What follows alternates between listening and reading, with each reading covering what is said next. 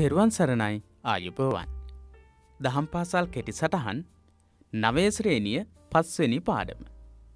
අපි මීට කලින් පාඩම් කීපයක් කතා කරලා තියෙනවනේ ඒ පාඩම්වලට සම්බන්ධ වෙච්ච නැති අය ඉන්නව නම් කවුද මේ සාකච්ඡාවන් ඉදිරිපත් කරන්නේ කියන එක ගැන දැනගන්න අපි අපේ නාලිකාව පිළිබඳව අවධානයක් යොමු කරලා ඉමු.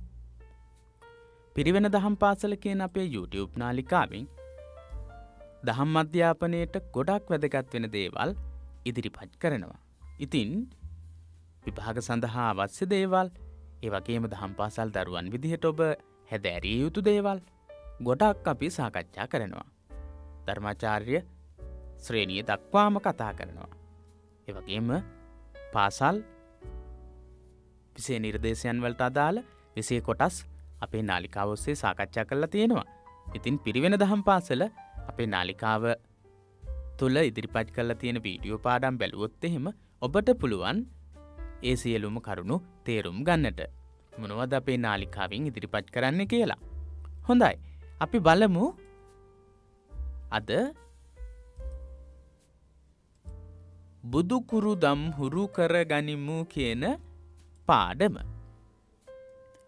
බුදුකුරු දම් බුදුකුරු දම් කියලා කියන්නේ බුද්ධකාරක ධර්ම බුද්ධකාරක ධර්ම එහෙම නැත්නම් බුද්ධකාරක ධර්ම කියලා කියන්නේ මොනවද පාරමිතාවලට බුදුවරයේ බවට පත්වීම සඳහා කරන්නට ඕන ගුණධර්ම පුරන්නට ඕන ගුණධර්ම සම්පූර්ණ කරන්නට ඕන ගුණධර්ම තමයි බුදුකුරුදම් බුද්ධකාරක ධර්ම පාරමී කියලා කියන්නේ.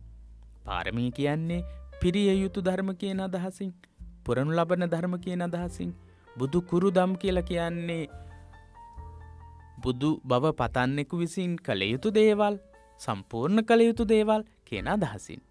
එහෙනම් ඒ බුද්ධකාරක ධර්ම පාරමිතා ධර්ම ගැන තමයි අපි ඉගෙන ගන්නේ. ඔන්න පළවෙනි අංකේ බලන්න පළවෙනි අංකේ යටතේ ඉදිරිපත් වෙනවා බුදුකුරුදම්. බුදුකුරුදම් බුද්ධකාරක ධර්ම පාර්මිතා. මොනවද මේ? බුදුරජාණන් වහන්සේ බුදුවීමට පෙර බෝසත් අවදියේ පිරූ ගුණධර්ම හඳුන්වන නම් බුදුකුරුදම් බුද්ධකාරක ධර්ම පාර්මිතා පාරමී කියලත් කියනවා. ඒ බුදුවරයෙක් විසින් බෝධිසත් බුද්ධත්වයට පත්වෙන්ට කලින් බෝධිසත්වවරයෙක් විසින් සම්පූර්ණ කනගුන් කරන ගුණධර්ම. දෙවනි අංකය. ඒ පාරමිතාවන් කියක් තියෙනවද දහයක් තියෙනවා.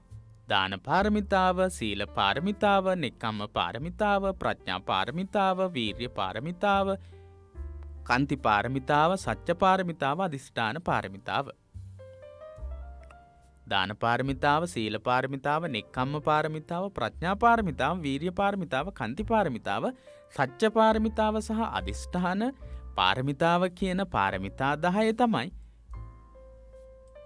දස පාරමී කියලා කිය දස පාරමිතා කියලා කියන්නේ. අවසානයේදී මම ගාථාවකිනුත් මේ දහය මතක තියාගන්න විදිහ කියලා දෙන්නම්. ඊට අමතරව දාන පාර්මිතාව ගැන වෙනම සීල පාර්මිතාව ගැන වෙනම නෙක්කම පාර්මිතාව ගැන වෙනම අපි ඊළඟට කතා කරමු. ඔව. අධිෂ්ඨාන පාර්මිතාව ඊළඟට මෙත්තා පාර්මිතාව උපෙක්කා පාර්මිතාව. අපි උඩින් සඳහන් කළේ නැහැනි. දාන පාර්මිතාව සීල පාර්මිතාව නෙක්කම පාර්මිතාව ප්‍රඥා පාර්මිතාව වීරිය පාර්මිතාව කන්ති පාර්මිතාව සච්ච පාර්මිතාව අධිෂ්ඨාන පාරමිතාව සහ මෙත්තා උපේක්කා කියන පාරමිතා දහය තමයි දුවේ පුතේ. දස පාරමී කියලා කියන්න. පාරමිතා දහය. හොඳ ඊළඟට තුන්ගනි අංකය. බෝසත්වරයෙකු පුරාත් පාරමිතා පුරන්නේ සම්මා සම්බුදු බව පතාගෙන හෙමනැත්නම් පසේ බුද්ධත්වය ලබාගන්නට රහත් භාවය ලබා ගන්නට. තුන්තරාබෝධියටම පත්වීමට සම්මා සම්බුද්ධ පච්චේක බුද්ධ අරහන්ත කියන තුන්තරාබෝධියනෙ ඒ තුන්තරාබෝධියටම පත්වෙන්ට පුරන්නට ඕන සම්පූර්ණ කරන්නට ඕන ගුණධර්ම විශේෂයක් තමයි මේ බුද්ධකාරක ධර්ම හිමිනැත්නම් පාරමිතා ධර්ම කියලා කියන්න. ඔන්න ඊළඟට පාඩමේදී අපට කියලා දෙනවා පාරමිතා සම්පූර්ණ කිරීමට හේතුවෙන විශේෂ කරුණු පහක්. පාරමිතා ධර්ම පාරමිතා ධර්ම බවට පත්වෙන්නේ මෙන්න මේ කරුණු පහ සම්පූර්ණ වුණොත් විතරයි. තන්හා මාන දිට්ටීහි අනුපහතා කරුණූපාය කෝසල්ල පටිග්ගහිතා. තන්හාාව මානයේ දිට්ටිය කියන අකුසල සිතුවිලිවලින් දුරුවෙලා. කරුණූපාය කෝසල්ල පරිග්ගහිතා කරුණාව සහ උපාය කවසල්ලය කියන ගුණ ධර්මය ඇතිව පාරමිතා පුරන්නට ඕන්. මොනවද එහෙනම් දුරු කළ යුතු කරුණු ටික? තන්හාාවෙන් තොරවීම දුරුවීම මානයෙන් මාන්නය නැති බව දිට්ටියෙන් තොර බව මිත්‍යා දෘෂ්ටික අදහස්වලින් තොරව පාර්මිතා සම්පූර්ණ කරන එක. මෙන්න මේ කරුණු තුනම ඉවත් කළ යුතුයි පාරමිතාවක්. පාරමිතාවක් බවට පත්වෙන්නට තන්හාාවෙන් තොරවීම මාන්‍යෙන් තොරවීම දිට්ටියෙන් තොරවීම. ඊළඟට මෙන්න මේ කරුණු දෙක අනිවාර්යෙන්ම පුද්ගලයා තුළ ඒ බෝධිසත්වවරයා තුළ තිබුණොත් තමයි පාරමිතාවක් පාරමිතාවක් බවට සම්පූර්ණ වෙන්නේ. කරුණාවෙන් යුක්තවීම නුවනින් යුක්තවීම කියන ලක්ෂණ දෙක. එතකොට තන්හාාවෙන් දුරුවීම මාන්‍යයෙන් දුරුවීම දිට්ටියෙන් දුරු තොරවීම දුරුවීම කරුණාවෙන් යුක්තව නුවනින් යුක්තව කටයුතු කිරීම තුළ තමයි පාර්මිතාවක් පාර්මිතාවක් බවට පත්වෙන්නේ. හොඳයි දානය පාර්මිතාවක් බවට පත් නොවන අවස්ථාමනවද ප්‍රසිද්ධිය බලාපොරොත්තුවෙන් දන් දෙෙන අවස්ථා ලාභ ප්‍රයෝජන බලාපොරොත්තුවෙන් දං දෙෙන අවස්ථා පරලොව දිව්‍ය සැප සම්පත් පතා දන් දෙෙන අවස්ථා දාන පාරමිතා බවට පත්වෙන්නේ නැහැ. පරලොව දිව්‍ය සැප බලාපොරොත්තුවෙන් දානෙ දෙනවනං ඒක ලෝබයෙන් දන්දීම. අපි බලමු. හයිවනි අංකේ ලාභ ආදිය බලාපොරොත්තුව දන් දෙන එකට කියනවා තන්හාාවෙන් දන්දීම කියලා. ලාභ ආදිය බලාපොරොත්තුවෙන් දන් දෙනවනං ඒක මොකක්ද තන්හාාවෙන් දෙන දානයක් දාන පාර්මිතාවක් වෙන්නේ නැහැ. අනිත් අයට වඩා ඉහලින් දන් දෙෙන්ට කියලා හිතාගෙන දන් දෙනවන එතනති මොකද වෙන්න. එතනති මාන්‍යෙන් දන්දීමක් වෙනවා මානය කියලා කියන්නෙත් පාර්මිතාවක් සම්පූර්ණ වීමට බාධාවක් වෙන කාරණාව. දන්දීමෙන් පමණක් නිවන් දකින්න බුදුවෙන්න පුළුවන් කියලා හිතාගෙන දන් දෙනවනං ඒක මිත්‍යා දෘෂ්ටියක් එක වැරදි අදහසක් එහෙනම් ඒකෙනුත් දුරුවෙන්නට ඕන්. ඊළඟට නමවෙනි අංකය පාරමිතා බවට පත්වීමට හේතුවන කරුණු දෙක කරුණාව හෙවත් අනුන්ගේ දුක අපහසුකම් දැකලා මුදවා ගැනීම සඳහා දන්දීම. ඊළඟට ප්‍රඥාව නුවන හෙවත් උපාය කුසලතාවෙන් යුක්තවීම. ප්‍රඥාවෙන් නුවනින් ඥානවන්ත විදිහට ක්‍රියා කිරීමයි කරුණාවෙන් කාගෙහරි දුකක් දැකලා පහසුතාවයක් දැකලා ඒ දුකින් අපහසුතාවයෙන් මුදවාගන්නවා කියන අදහසින් යුක්තව දන් දෙනවනං ඒකයි ප්‍රඥාවෙන් ඥානවන්තව දන්දීමාදිය කරනවනං ඒකයි වැදගත්වෙනවා පාර්මිතාවක් බවට පත්වෙන්ට දානය පාර්මිතාවක් බවට පත්වෙන්. දහවෙනි අංකය විමුක්තිය හෙවත් නිවන් දැකීමට පත්විය යුතු තුන්තරා බෝධිය මම මුලින් සඳහන් කළා බුදු පසේ බුදු මහරහත් එම නැත්නම් බුද්ධ පච්චේක බුද්ධ අරහන්ත කියන තත්ත්වයන් තුන. හොඳයි අපි ඊළඟට බලමු දුවපුතේ දාන පාරමිතාව. තමන් සතු දෙයක් තමන් අයිතිය අතහැරලානුන්ට දෙන එකට කියනවා දානය කියලා. දානය කියලා. තමන්ට වඩා සිල්වත් ගුණවත් අයට පූජාවක් වසයෙන්දීම පූජාබුද්ධියෙන් දෙන දානය කියලා කියනවා. කෙනෙකුගේ අසරණකම ගැන සලකල අනුග්‍රහයක් වසයෙන් දෙන දානය අනුග්‍රහබුද්ධියෙන් දෙන දානේ දානය දෙන්න පුළුවන් පූජාබුද්ධියෙන් සහ අනුග්‍රහබුද්ධියෙන්. එහනම් පූජාබුද්ධියෙන් දෙන දානය මොකක්ද අනුග්‍රහබුද්ධියෙන් දෙන දානය මොකක්ද කියලා මතක තියාගන්න වෙනවා. තමන්ට අයත් බාහිර දේවල් දන් දෙන එකට ආමිසදානය කියලා කියනවා. මේ ආමිසදානයේදී ආහාරපාන ඇඳුම් පැළඳුම් උපකරන නිවාස මේවා දන් දෙන්න පුළුවන්. වෙහෙස මහන්ස වී අනුන්ට උපකාර කිරීම ශ්‍රමදානය කියලා කියනවා. අනුන්ගේ ජීවිතය ගලවා ගැනීම අනුන් මරණින් බේරා ගැනීම අබේධානය කියලා කියනවා.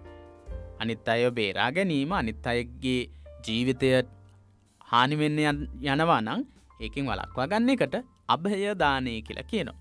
අනුන්ගේ ආධ්‍යාත්මක දියුණුවට හේතුවෙන කරුණු යහපත් දේවල් හොඳ දේවල් කියල දෙන එකට කියනවා ධර්මදානය කියලා. බුදු බව පතා දෙන දානය තමයි දාන පාරමිතාව කියලා කියන්නේ. දාන පාරමිතාව කියන්නේ බුදු බව පතාගෙන දං දෙන එකට. ඔන්න ඊළඟට සීල පාරමිතාව. ටිකක් දික පාඩමක් නිසා අපි ඉක්මනට කතා කරගෙන යම්. සිතාමතා කයවචනය සංවර කර ගැනීම තමයි සීලය කියල කියන්න. කායවාචානං සමෝදානන් සීලං. කයින් සිද්ධ වෙන වැරදි තුනයි වචනයෙන් සිද්ධ වෙන වැරදි තුනයි වැරදි හතරයි ඒ වැරදි හතෙන්ම දුරුවෙන එකට කියනවා සීලයේ කියලා. සීලයෙන් සම්පූර්ණ වන අංස දෙකක් තියෙනවා. විරමණය වැරදි හැසිරීමෙන් වෙන්වීම. අපි සිල් සමාදන් වෙනකොට එනිසා තමයි වේරමණී සික්කහා පදං කියලා කියලා සමාධයාමී කියලා කියන්නේ. එහෙනම් එක සිල්පද එක අන්ස දෙකක් තියෙනවා. විරමණය වේරමණී වැරදි හැසිරීමෙන් වෙන්වීම සමාධානයේ යහපත් හැසිරීම් පුරුදු පුහුණු වීම. ප්‍රාණගාත නොකිරීම සතුන්ට කරුණාව දැක්වීම උදාහරණයක් විදිහට ගත්තොත්. විරමණය කියල කියන්නේ ප්‍රාණගාතයෙන් වෙන්වෙන එකට සමාධානය කියන්නේ සතුන්ට මෛත්‍රයේ දැක්වීම. ගිහියාගේ නිත්‍ය සීලේ මොකක්ද. පංචසීලය ගිහියාගේ නිත්‍ය සීලය පංචසීලේ. විශේෂ දිනයන් සමාදන් වන සීලයන් අටසිල් සමාදන් වෙනවා ගිහි දස සීලේ සමාදන් වෙනවා. සිල්පදා කණ්ඩව රැක ගනිමින් සිල් ආරක්ෂා කිරීම තමයි සීල පාරමිතාව කියල කියන්න. තන්හා මාන දිට්ටි කියන අකුසලයන්ගෙන් දුරුවෙලා කරුණාව සහ උපාය කවසල්ලිය මූලික කරගෙන කයිවචනය දෙක සංවර කරගෙන කයින් වචනයෙන් වෙන වැරදිවලින් දුරුවෙනවනං බුදු බව පතාගෙන එවිදිහට කයිවචනය දෙක සංවරව කයින් වචනයෙන් යහපත් දේවල් සිදු කරනවන ඒකට කියනෝ සීල පාරමිතාව කියලා. නෙක්කම්ම පාරමිතාව. නෙක්කම්ම හෙවත් නයිස් ක්‍රම්ය යනු අරමුණුවලට දැඩිසේ නොඇලී ඉන්ද්‍රිය සංවර කර ගැනීම. මොනවද මේ ඉන්ද්‍රියන්? පංච ඉන්ද්‍රිය හා ගොදුරුවන අරමුණු. ඇහැට රූපාත්න් කනට සබ්දත් නාසයට ගඳ සුවඳත් දිවට රස කයට ස්පර්ස මේ විදිහට ඇස කණනාසේ දිව ශරීරය කියන මේ ඉන්ද්‍රියන් වලට බාහිරෙන්ගෙන අරමුණු රූප සබ්ද ගන්ධ රස ස්පර්ස කියන මේ අරමුණුවල දැඩි විදිහට නොඇලී කටයුතු කිරීමට කියනවා නෙක්කම්ම කියලා. නයිස් ක්‍රම්ය. ආසාව සම්පූර්ණයෙන් පාලනය කරගෙන සියල්ලම අතහැරදානයකට කියනවා නෙක්කම්ම පාරමිතාව ඇස කණනාසේ දිව ශරීරය කියන මේ ඉන්ද්‍රියං සියල්ලක් තුළින්ම ලබන ආස්වාදයන් ආසාව දුරු කරලා සම්පූර්ණයෙන් අතහරිනයකට කියනවා නෙක්කම්ම පාරමිතාව කියලා. ඊළඟට ප්‍රඥා පාරමිතාව. ප්‍රඥා පාරමිතාව. ප්‍රඥාව හෙවත් නුවන බුද්ධත්වය අරමුණු කරගෙන දියුණු කර ගැනීම පඤ්ඥා පාරමිතාවයි එහම නැත්නං ප්‍රඥා පාරමිතාව කියලා කියනවා. ප්‍රඥාව හෙවත් නුවන ඥානවන්තකම අවබෝධය ත්‍රිලක්ෂණය පිළිබඳව අවබෝධය. ඒවගේම යතහාර්ථය පිළිබඳව අවබෝධය. ලෝකේ ස්වභාවේ පිළිබඳව අවබෝධ කරගන්න එකට කියනවා පඥා පාරමිතාව කියලා. ප්‍රඥා පාරමිතාව සම්පූර්ණ වීමට සියලු සංස්කාර හෙවත් ලෝකයට අයත් සියලුම දේවල් අනිත්‍ය බව දකිින්ට ඕන අනිත්‍ය දේට ඇලුම් කිරීම දුකට හේතුවෙනවා කියල තේරුම් ගන්නට ඕන හොඳ නරක කුසලා කුසල වෙන් කොට හැඳිනගෙන ක්‍රියාකිරීමේ හැකියාව තියෙන්න්නට ඕන් අන්න එතකොට තමයි ප්‍රඥාපාරමිතාව සම්පූර්ණ වෙන්නේ. ඊළඟට වීර්ය පාරමිතාව. වීර්ය පාරමිතාව කියන්නේ අකුසල් දහම් බැහැරකිරීමේත් කුසල් දහම් දියුණු කර ගැනීමේත් උත්සාහවත් භාවේ. බාධක මැඩගෙන පසු නොබැස අරමුණු කරා ලංවීම. කන්තිපාරමිතාව කන්ති හෙවත් සාන්ති යනු ඉවසීමයි. සාන්ති කියල කියන්නේ සාන්තිය කියල කියන්නේ ඉවසීමට ඉවසීමෙන් කටයුතු කිරීමට.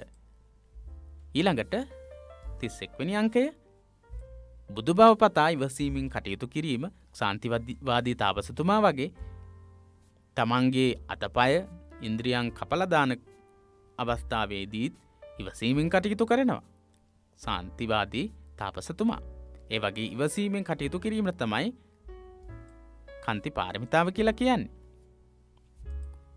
සච්ච පාරමිතාව සච්ච පාරමිතාව කියලා කියන්නේ බොරු නොකීම හා ඇත්ත කතා කිරීම අනුන් අනුන් නොරැවටීම රවටවන්නේ නැතිකම අවංකකම ඒ කියන ලක්ෂණ. අධිෂ්ඨාන පාරමිතාව. අධිෂ්ඨානය කියල කියන්න අරමුණ ඉටු කරගන්නාතෙක් පසු නොබැස කැපවී ක්‍රියා කිරීම.